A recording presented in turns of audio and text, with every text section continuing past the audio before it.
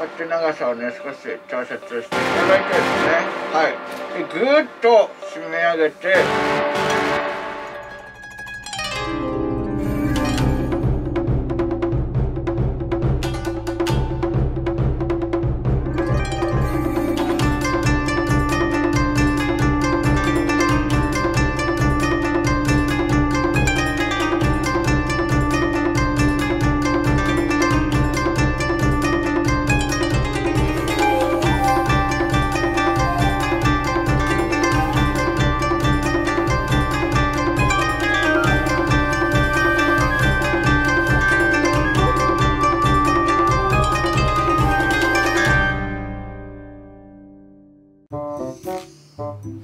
たぬきちチャンネルです。おはようございます。たぬきちでございます。今日も六尺ふんどし締めていきたいと思いますので、ぜひ最後までご覧いただければなと思っております。それでは早速締めていきますが、今日はですね、定番の六尺ふんどし白を締めていきたいと思います。はい。で、あのー、まあね、いつも通りなんですけれども、いつも通りっちゃいつも通りなんですけれどもね、早速締めていきたいと思います。まあ定番ですよね、白がね。あの、ここの端をね、加えまして、綿に足していきます。ふっと。じゃん。えってね、ここ、紐を引っ張ると、外れるようになってます。あれどこだあった。ちゃんと結びでね、締めてるだけで。はぁ片結びになっちゃった。ちょっと待って。あ、取れた。お、早い。はい。で、こう、こう、こう、よいしょ。またね、出していく。はい、こんな感じですね。で、後ろ見ますね。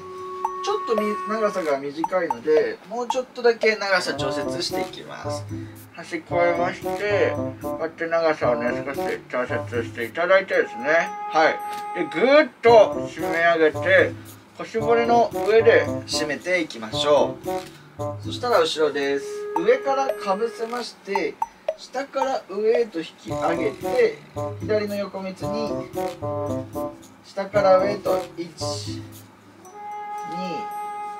123と締め上げてください。はい。そしたら今度ね前です。ちょっとこう長さとかね調節していただいて下からしっかりテンションをかけてですね上に持っていきます。こういう感じで、はい、しっかりと上に持っていきます。そしたら今度上から下にもですね次股に通すんですけどここもしっかりとテンションをかけて通してあげてください。こんな感じです。で後ろ。左から横にあ右に行く時にくぐらせます。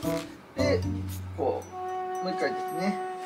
はいこんな感じでねじってあげてください。最後左の横三つに1回下から上へと通してからですね。右側に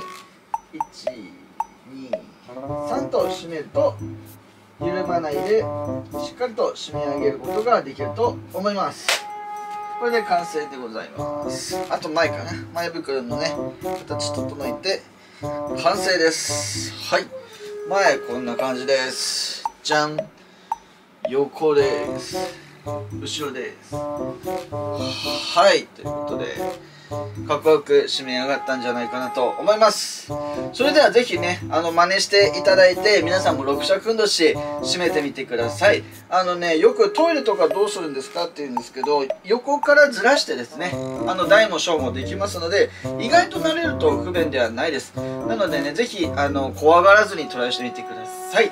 それではいいねと思ったらグッドボタンとチャンネル登録ぜひよろしくお願いいたします。またどこかでお会いいたしましょう。たぬきちチャンネルでした。バイバーイ。